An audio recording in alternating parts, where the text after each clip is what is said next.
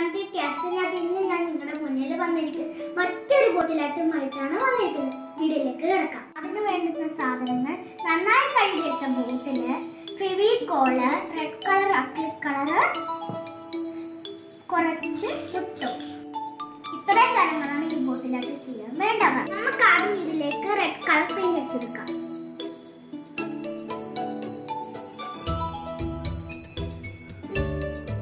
brush കൊണ്ടല്ല ഞാൻ sponge കൊണ്ടാണ്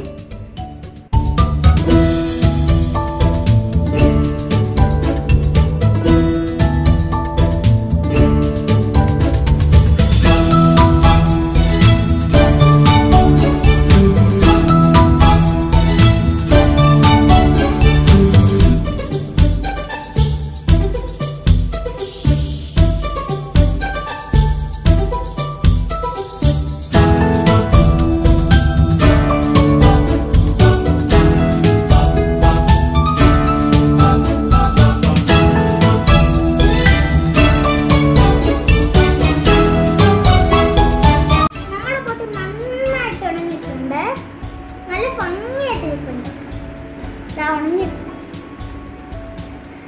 ആ സ്കാർഫ് ഇട്ട് അങ്ങനെ ഇതിൽ കുപ്പിയിലേക്ക് ഒട്ടിക്കാൻ പോകും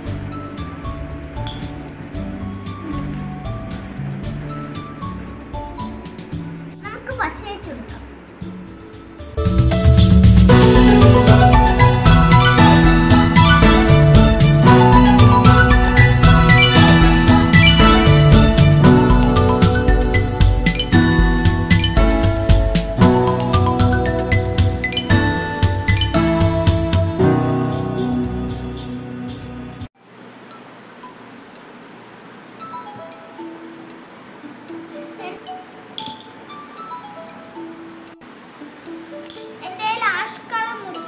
சொன்னால் ஒயிட் கலர் முத்து எடுத்துருக்குங்க